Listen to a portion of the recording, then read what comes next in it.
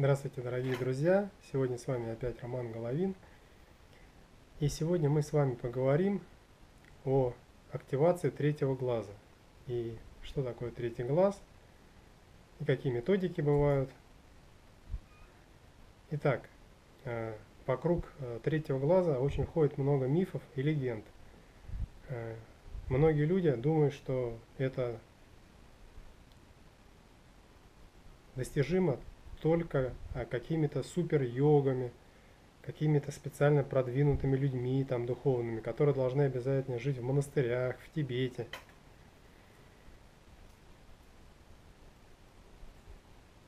С ясным умом и так далее. На самом деле, а, третий глаз возможно открыть практически любому человеку при желании, при ежедневных практиках, то есть э, третий глаз – это некое э, связующее между физическим миром и тонкими мирами. И это реально достижимо. У многих людей это происходит в кратчайшие сроки. Некоторые люди э, упражняются, голодают, становятся на духовный путь, чтобы ускорить этот процесс. Возможно, применять специальные методики, техники, медитации, использовать для открытия третьего глаза. Есть специальные упражнения, их э, бесчисленное количество.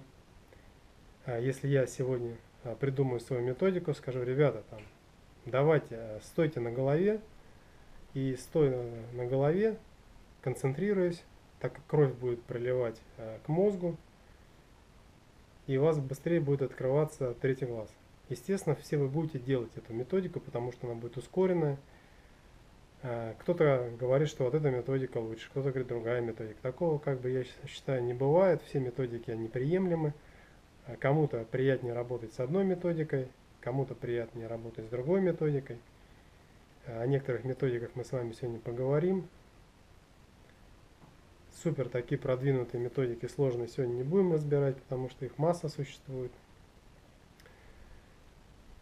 Третий глаз, он а, связан а, шишковидной железой в организме человека.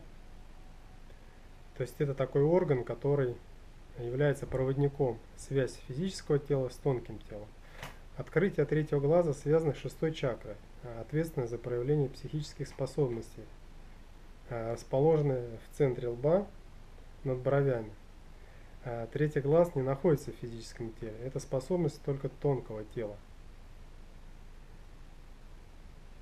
И поэтому нельзя утверждать, что а, непосредственно шишковидная железа. Шишковидная железа это только проводник.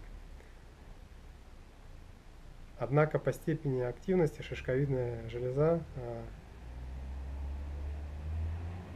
шишковидной железы зависит способность человека воспринимать тонкие миры, что является а, проявлением как раз третьего глаза. Когда вы э, концентрируетесь, пытаетесь активировать третий глаз,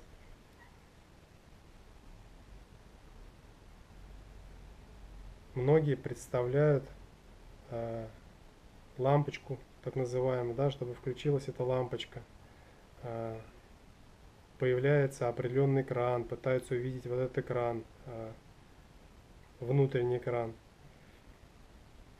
Есть различные методики, как это делать. Э, ваша цель, да, с помощью практики, вашего внутреннего желания, как раз вот активировать вот эту шишковидную железу, чтобы увидеть как раз вот это яркое свечение, лампочку. А, Ее цель, ваша цель зажечь эту лампочку, активировать так называемый эписис, эпифиз, а потом а, как раз сосредоточиться на этом внутреннем экране. Можно действовать и наоборот. Сначала за,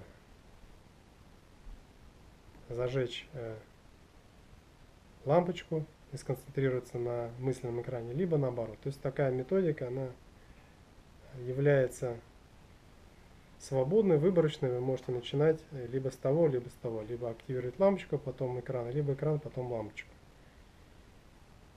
Итак, Сейчас мы поговорим о некоторых методиках. Можно сесть перед зеркалом, а, рассматривая свое лицо на расстоянии примерно 15 сантиметров от зеркала. Расслабьте зрение. Вы увидите вместо двух глаз четыре глаза. Теперь, приближая и отдаляя свое лицо, нужно добиться, чтобы два средних глаза слились в один. И это будет третий глаз. Рассматривая этот э, синтезируемый глаз, прямо у вас четко будет он посередине. И вскоре появится ощущение, что вы всматриваетесь внутрь себя. Э, чем больше вы будете, естественно, практиковать, тем больше у вас это будет получаться. Много раз в день можно это пробовать. Начинать можно там раз в день, там, когда у вас есть время, потом два раза в день, потом в течение дня это можно практиковать. А, есть еще методика а, со свечой. А, вечером или перед сном, еще лучше. Смотрите на пламя свечи. Удаление от пламя свечи примерно 10-30 э, сантиметров. Около 5-10 минут можно проводить эту практику, не моргая по возможности. Также старайтесь увидеть э, свечение вокруг, э, свечение вокруг пламени свечи, которое по мере открытия третьего глаза будет увеличиваться в размерах. В комнате, конечно, должно быть темно, естественно. Затем закройте глаза и только после этого задуйте свечу. Это очень важный момент. Расслабьтесь После этого смотрите на цвета, которые будут меняться перед вашим взором. С закрытыми глазами, естественно. Будут появляться такие цвета, как желтый, красный, синий, зеленый. Для остановки бегания э, зрачков, когда с закрытыми глазами, да, можно прикладывать вот сюда подушечки пальцев, чтобы они не бегали, и придерживать веки.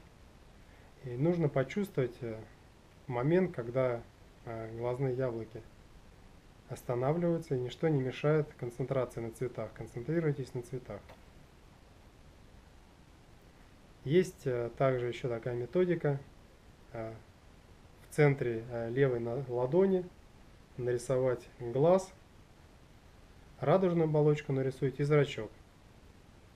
Если кто-то не знает, что такое радужная оболочка и зрачок, можете посмотреть э, в интернете быстренько фотографию, анатомию. Э, нарисуйте э, ручкой или фломастером цвет, размер изображения, глаза любой, какой вам больше нравится. И сидя в вашей любимой позе для медитации, зафиксируйте вот это положение левой ладони на уровне глаз, чтобы у вас было. Ладонь выпрямлена, выпрямлена, пальцы прижаты один к другому. И следует э, смотреть, не мигая, на изображение глаза. То есть вы смотрите, пальцы вместе, ладонь прямая, смотрите, не мигая, на изображение глаза, которое вы нарисовали. Мышцы лица, естественно, расслаблены, язык э, можно немного прикоснуться к верхнему небу мягкому у основания верхних зубов. А, во время выхода энергии с третьего глаза посылается в центре ладони, в изображение глаза. При входе следует представить, как из изображения глаза излучается энергия и входит в третий глаз. По завершению сеанса следует спокойно закрыть глаза, не напрягаясь, и явить зрительный образ глаза. Есть такая вот еще такая есть методика. Вы сами можете э, выбирать любую, можете чередовать их, кому что больше нравится. Есть еще методика. Э, эту технику удобно практиковать в течение дня. Например, вы можете идти по улице, либо ехать в общественном транспорте в магазин, на работу. Очень удобно. Концентрируйтесь в области межброви и немного вглубь радиус примерно 2-3 сантиметра. Концентрируйтесь при любой возможности. А, должно появиться некоторое приятное давление в области межброви. Усиливайте потом это давление. Старайтесь почувствовать, что будто смотрите из центра своей головы сквозь область межброви. То есть это очень удобная методика, вы везде ее можете практиковать. Дома можете одну методику практиковать, а в общественном транспорте другую, сочетать. То есть получается, что третий глаз – это как мышцы. Если вы идете в спортзал, вы качаете, мышцы растут, отзываются на стресс. Если вы применяете вот эти зрительные, духовные, э, так сказать, тонкие упражнения, концентрации, представлением мыслей, мыслей и образов, то, естественно, это такие же упражнения. Есть еще некая методика, корпускула света называется. Подойдите к окну в светлое время суток, откройте э, занавески, тюль, цветы уберите, чтобы было, было чистое свободное окно, вот, все жалюзи. И вы должны стоять очень близко к стеклу на расстоянии 50-100 сантиметров. Смотрите в небо, глаза открыты но сильно не поднимайте голову. Линия взгляда где-то 45 градусов должна быть относительно Земли. Концентрируйтесь на этом видении.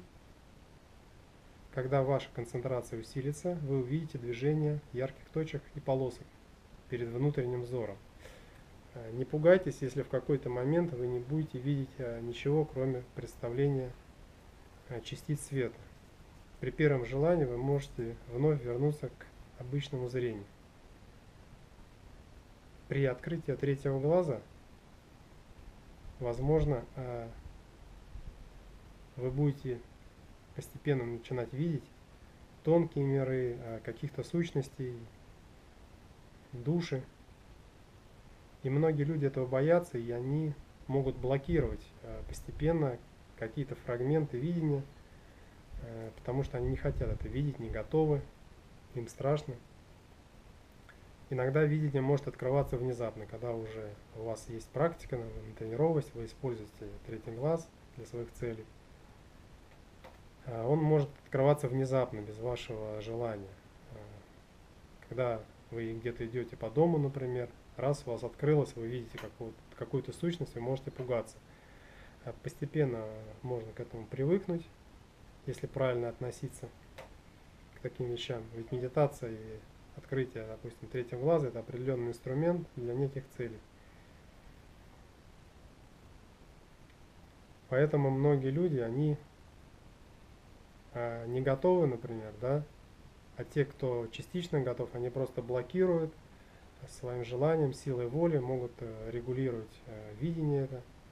А постепенно можно это развивать, переходить на более глубокие уровни, э, развивать многомерное видение – потому что существует очень много параллельных миров, а, тонких миров, различных пространств, и нужно время, чтобы их все освоить, понять, что там живут за сущности, э, почувствовать это все на себе, э, чтобы ваш мозг, ваш организм, именно психическая сфера адаптировалась.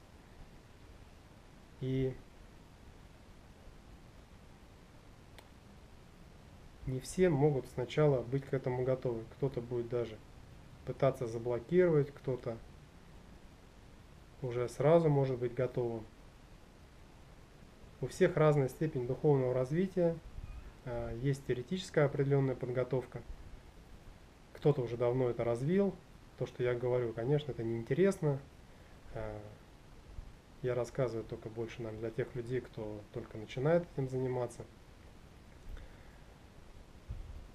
Методик а, уже, как я сказал, очень много. Каждый выбирает для себя то, что ему ближе. А, можно начинать пробовать с одной методики, с другой методики, третьей, но вы всегда думаете, что вы откроете рано или поздно. Так же, как если вы много читаете, естественно, рано или поздно вы сможете общаться с любым человеком на различные темы. Если вы идете в спортзал, рано или поздно тело приобретет тот вид, который вы хотите, плюс диета. Если вы там бегаете, естественно, дыхание ваше будет а, натренировано. Если вы плаваете, естественно, будете свои э, какие-то потребности, э, скорость плавания, тренировать также дыхание под водой, можно бегать, как только погружаешься в воду, опять одышка начинается. Так же самое тренируете дыхательную систему. Параллельно вот как раз вот этим методикам можно делать различные дыхательные упражнения, задерживать дыхание, дышать глубоко, э, выдыхать, вдыхать, задерживать дыхание. Вообще вот эти вот упражнения не полезны даже для продления жизни, для долгожительства. Когда увеличится концентрация углекислого газа в крови, есть много работ по удлинению жизни. Очень интересные работы. И поэтому можно включать и параллельно открытие третьего глаза, как раз вот эти дыхательно различные упражнения. Ну вот такая обзорная лекция. Спасибо вам за внимание. Увидимся в новых видео. Всего самого доброго. До свидания.